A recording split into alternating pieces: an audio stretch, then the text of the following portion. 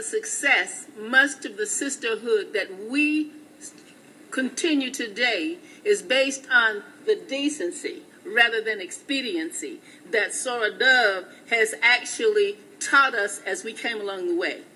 And we want to thank her and say congratulations to her. And we congratulate the city of Atlanta for honoring such a staunch supporter of human rights and decency.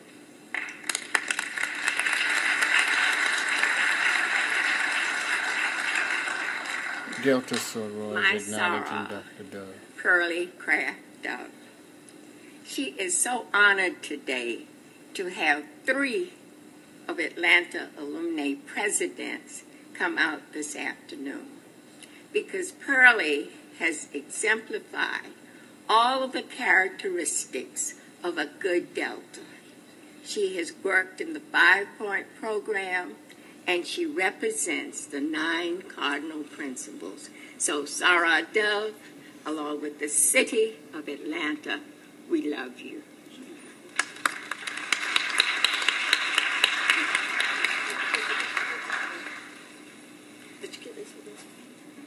All right. My name is Carol Ann Dove, and I am Dr. Dove, Pearlie Dove's daughter. I drive Miss Daisy. I, I type for Miss Daisy. I edit for Miss Daisy.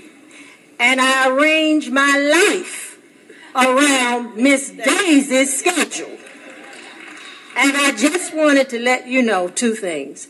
One time I was looking for my mother. It was 12 midnight.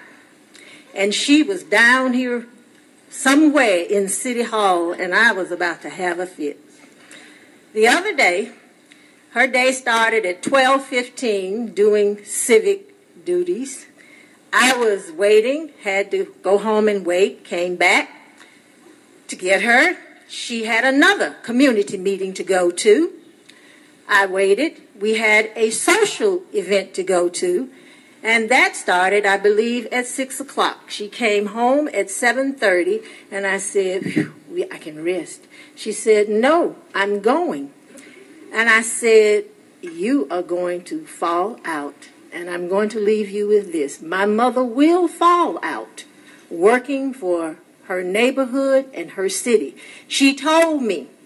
I am going to be like someone I heard who fell out in the back of the church attending a meeting. I would rather go on my feet than go lying down. So I give her to you and I help I will help her to keep going.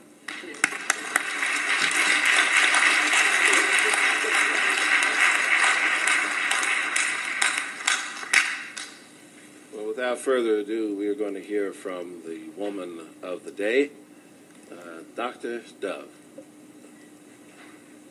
I'm going to surprise myself and be very brief. So that's why I had a few notes.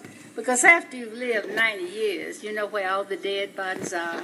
You know where all everything is. I won't share all of that with you today. But I'll say good afternoon.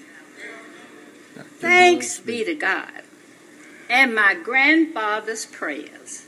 I'm just blessed to be here today. First, I must express my appreciation to Councilman Bond and members of the City Council for the proclamation I received.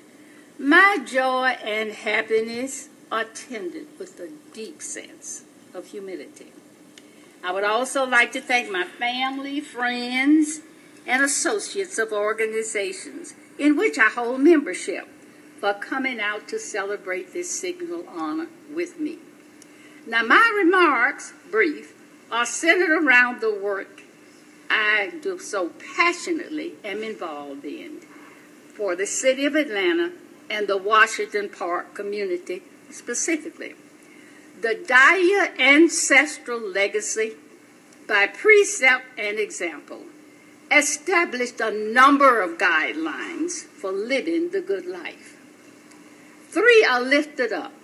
Always put God first. Love family and respect others. And to whom much is given, much is required.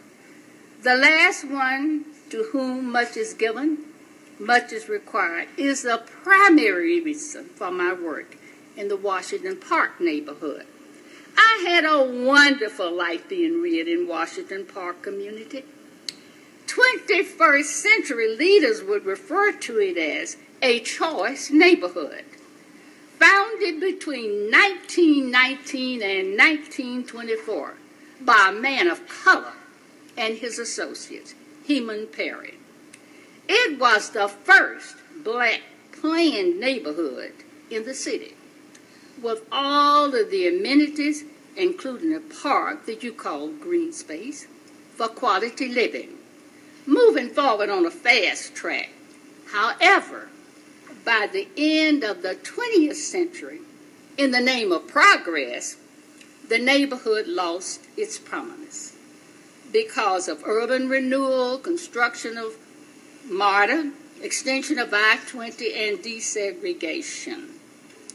Just before my mother passed, she suggested that I use my energy and know how to see if I could prevent further deterioration of the neighborhood because of the benefits it provided me, which led to my success in life.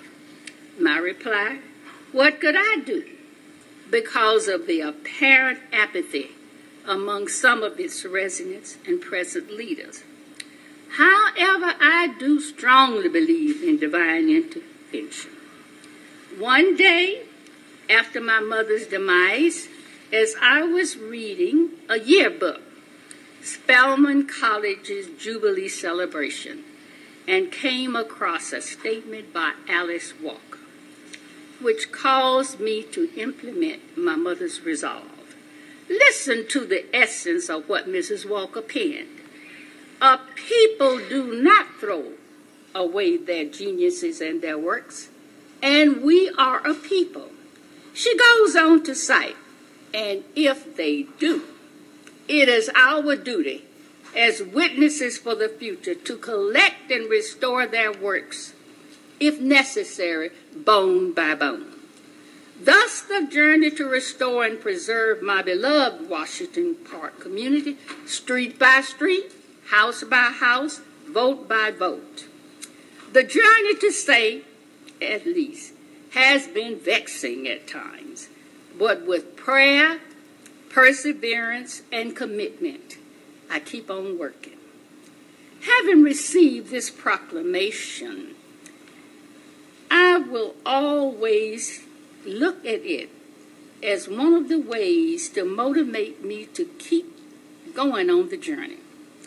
To make certain that legendary figures like Heman Perry and Associates will always be remembered for the significant role they played in Atlanta's growth and development, as well as the seeds they planted, which make it possible for present leaders like many of you to hold such lofty offices. And what of my future? I feel the elation of a nine year old African lad when he received the good news that a miracle drug had been discovered to cure his AIDS. In replying to a PBS correspondent's question, What are you looking forward to in the future? His reply One should do all you can in the time you've given, with what you have, in the place where you are. This too is my commitment. Thank you again, and God bless.